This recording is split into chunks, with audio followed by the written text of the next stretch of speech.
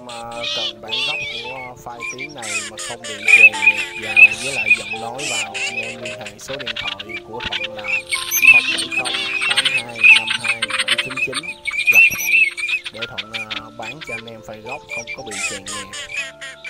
Lý do thuận chèn nhạc vô là do bài này là bài mới nhất bây giờ, làm rất là hiệu quả nha anh em.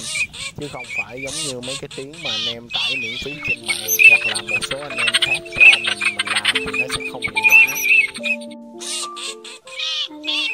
gốc đầy đủ hơn và không bị chèn ngược vào, hãy liên hệ số điện thoại 0708 252799 để gặp Thuận để được tư vấn thêm.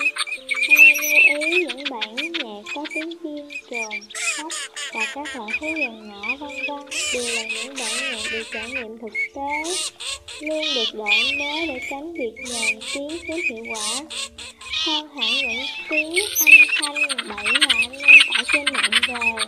Nếu anh em thấy hay thì hãy like và subscribe đăng ký kênh săn bậy của em. Để lại bình luận bên dưới. Và thêm ý kiến cho em để bên em phát huy nhiều hơn.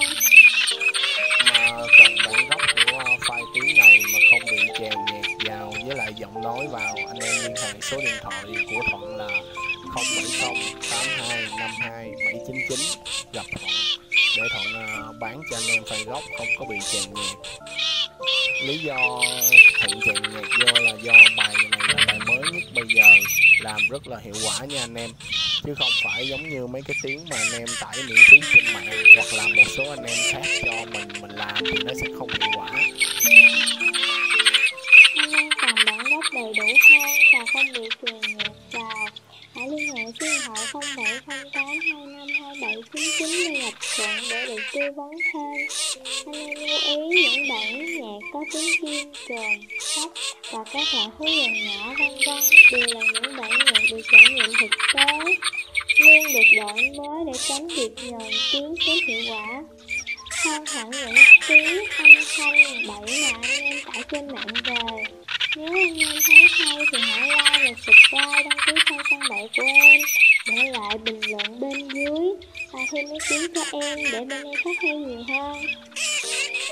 Ờ, cần bản gốc của file tiếng này mà không bị chèn nhạc vào với lại giọng nói vào. Anh em liên hệ số điện thoại của thuận là 070 82 52 799 gặp thuận để thuận à, bán cho anh em file gốc không có bị chèn nhạc lý do thuận chèn nhạc vô là do bài này là bài mới nhất bây giờ, làm rất là hiệu quả nha anh em.